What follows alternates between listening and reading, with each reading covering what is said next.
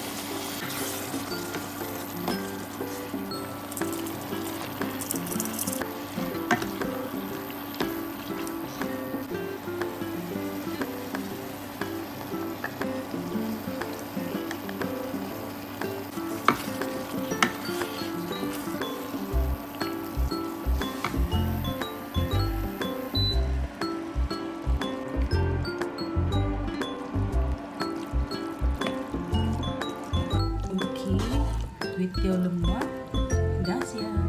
Okey, korang boleh cuba. Ikhlas dari Cik Kia Kitchen.